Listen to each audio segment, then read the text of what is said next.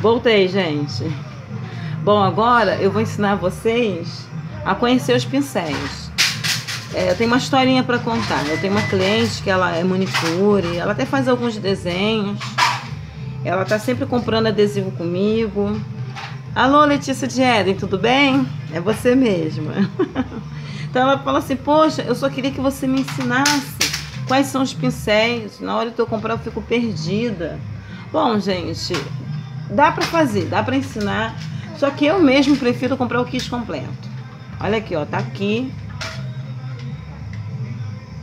Esse kit aqui eu compro, é independente de nome, marca, tá na promoção eu compro. Esse kit aqui vem não sei quantos pincéis, já usei a maioria, deixo guardado.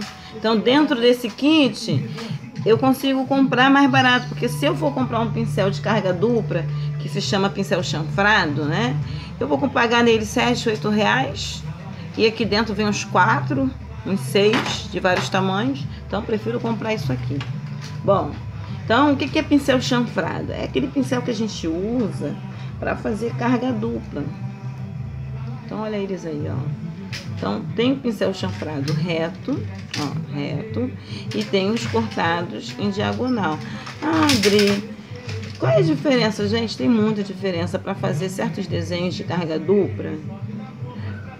O diagonal é melhor. Eu, depois eu vou mostrar para vocês aonde é que ele se encaixa, porque aqui esse vídeo é só para mostrar os tipos de pincéis. Esses pincéis aqui que eu mostrei para vocês, eles servem para fazer esses tipos de desenho. Olha a alegria da minha vida, meus desenhos. São a alegria da minha vida, filhos, desenhos. Não são seus filhos, não? São meus filhinhos, filhinhos em desenho, ora. Hum, então. Tá com ciúme dos meus desenhos, né? Então, olha só, gente. Me perguntaram hoje como eu consigo. Prática. Eu amo desenhar. Pratico bastante. Então, é só praticar. Pratica que a gente chega lá, né?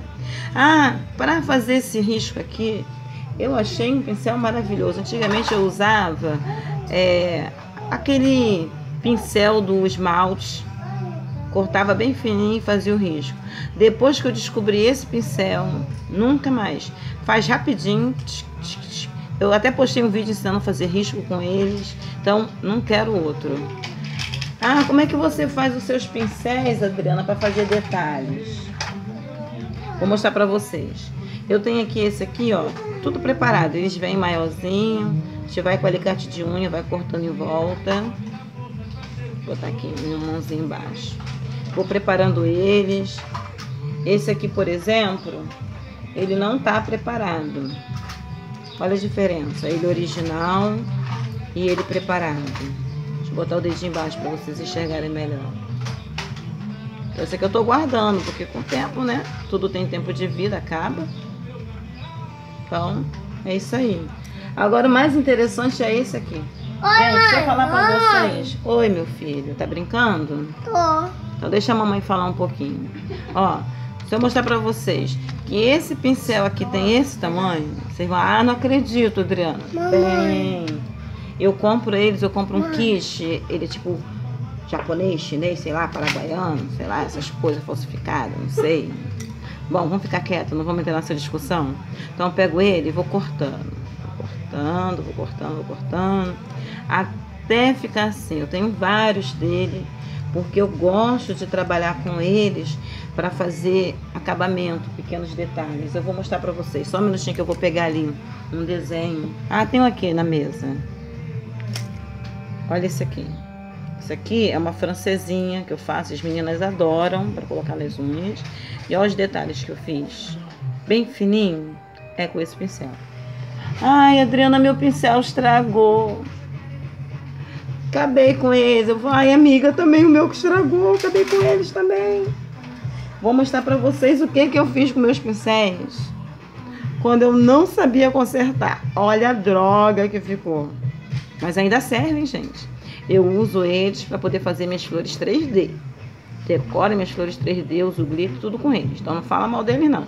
Mas para que isso não aconteça com o pincel de vocês, eu vou ensinar agora para vocês uma técnica para limpar.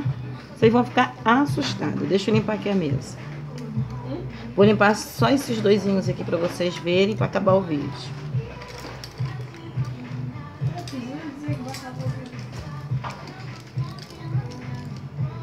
Tá, antes de mostrar limpar, antes de mostrar como é que se limpa, eu vou mostrar pra vocês o boleador. Eu tenho um kit com cinco boleadores desse. Vocês estão vendo? Esses boleadores, eles têm tamanhos variados. Dá pra fazer cachorrinho, gatinho, dá pra fazer coração, tudo quanto é tipo de desenho. Conforme eu for fazendo, vocês vão aprendendo. Tá vendo aí? São cinco boleadores. Só que pra mostrar aqui, eu só tô achando esses dois. Porque o meu kit é muito grande. Eu tenho uma coleção enorme de pincéis e boleadores. Então vamos limpar o pincel. Tá aqui, ó. Esse tipo de tinta é bom ela é boa porque eu uso para isso. Ó, pego óleo de banana, espejo um pouquinho lá. Vou pegar o meu pincel. Delicadamente eu vou umedecer nesse óleo de banana. Olha como é que eu sou pão duro. Eu boto bem pouquinho de banana mesmo. E aqui, ó, ó, tô notando que já tá amolecendo. Vocês estão conseguindo ver? A luz tá boa aí? Ó, agora acho que tá melhor, né? Então, ó, a tinta vai ficando todinha umedecida o pincel volta a ser novo. Aí o que, que vocês vão fazer agora? Eu peguei papel toalha, sabe? Eu tô filmando, então vou usar papel toalha, porque no final das contas, eu pego aqui mesmo no papel e faço assim, sabe? Eu sou toda delicada, mas vocês que são brutas, não são como eu. Mãe! vocês vão pegar o papel toalha e vão limpar com essa brutalidade toda, ó. Ó como é que ele fica novinho. Ó. Ó, ó, ó. Fica super maleável, ó. Vocês limpam assim, ó. Ó, limpei um. Tá novinho em folha. Não espalhou nenhuma cerda. Gente, é o um milagre de Deus, cara. Óleo de banana. Então agora eu vou pro próximo. Gente, ó, o vídeo vai ficar muito longo. Eu vou encerrando por aqui. Eu quero sim que vocês se inscrevam no meu canal, participem, entendeu? Gostou do vídeo? Dê like.